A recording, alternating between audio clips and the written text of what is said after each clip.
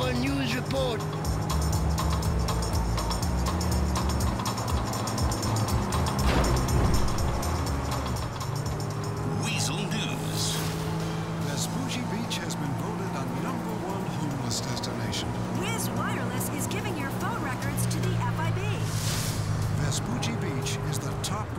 Destination for the homeless. The nation's homeless say they fit right in, as everyone looks a little crazed, has dreadlocks, and is in need of a good bath. A